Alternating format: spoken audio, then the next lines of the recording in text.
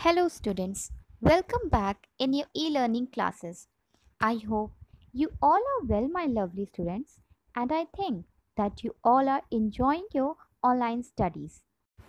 Dear students, do you know the benefits of online studies? Through online studies, it brings education right to your home. You can learn anything, anytime, whatever you want in your comfort and it also helps to work more comfortably and conveniently. So, you should never stop learning. So, I hope that you will all enjoy this lesson and video too. So, without any further ado, let's start our chapter Plants Around Us. Students, first of all, I want to give you the introduction of this lesson. In this lesson, we will learn about plants types of plants and uses of plants. Now open your book. In the first line, it is written that plants are of different types. Some plants are big and some are small. We depend on plants for many things. It means that plants are of different shapes and sizes and we all depend on plants. Some plants are big, some are small, some are very small. Now let's talk about types of plants. In this topic, we will learn about trees, shrubs or bushes, herbs, creepers and climbers. Now let's read from the book. So the question is, what is a tree? Tall and big plants are called trees. They have strong and thick stems. Mango tree, banyan, neem, peepal and coconut tree are some trees. So this is a picture of a tree, an apple tree. A plant, those have thick and strong stems means this is a stem of a plant.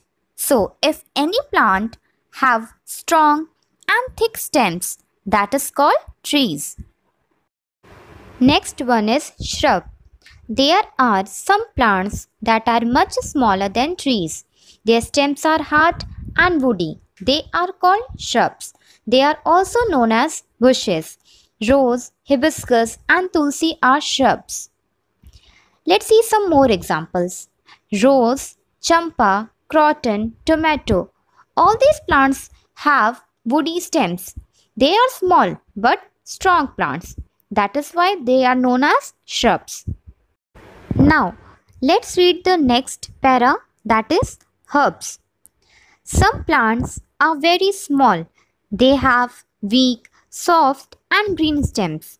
They are called herbs. Spinach, mint, coriander and parsley are herbs.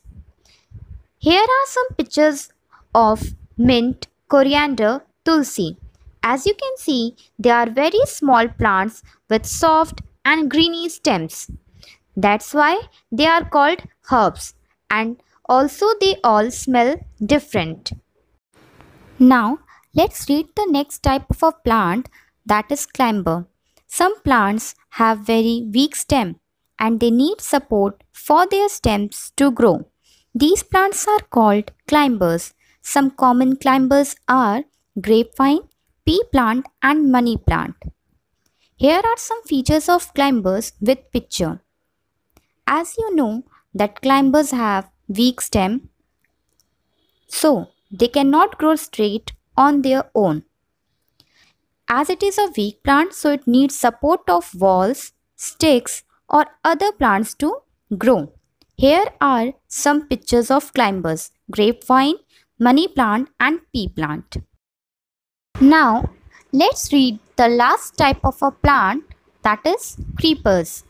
There are some weak plants which grow along the ground. These plants are called creepers. Pumpkin and watermelon are common creepers. Here are a white picture of pumpkin and watermelon. As you can see, they all grow along the ground and they have weak stem also. That's why they are called creepers. Some more examples are bottle gourd, cucumber, strawberry, tomato, watermelon and brinjal. All these plants are called creepers. I hope that you all have understood the types of plants. Now children, do you know what does a plant need?